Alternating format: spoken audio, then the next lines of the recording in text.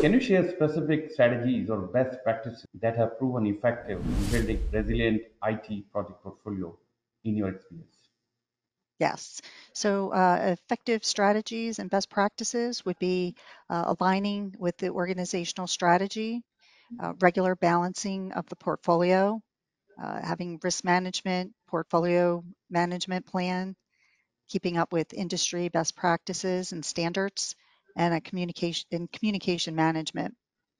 So having diverse organizational goals and objectives uh, will be uh, you know, creating a, a, vision for the portfolio and, and creating a vision for the portfolio that aligns with your organizational goals and objectives.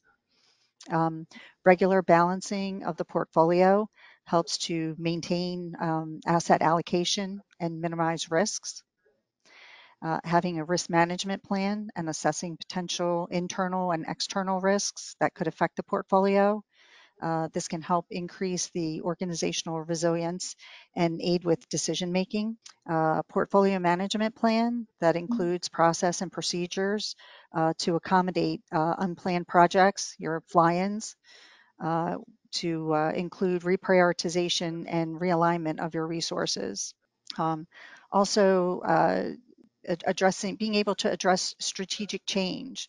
Uh, and what I mean by that is uh, a strategic change could be, an example could be, uh, there was a security issue uh, at uh, other local businesses. Now, the security issue didn't affect your business, but understanding that there are uh, cyber issues happening out there to other organizations, might want to reprioritize and uh, take a moment to assess your current security situation and uh, uh, to ensure that you uh, would cause or have any issues uh, that the other uh, areas are experiencing. So this would cause a shift in your portfolio if you were to pull some resources to just kind of address a situation like that. So that's an example of strategic change.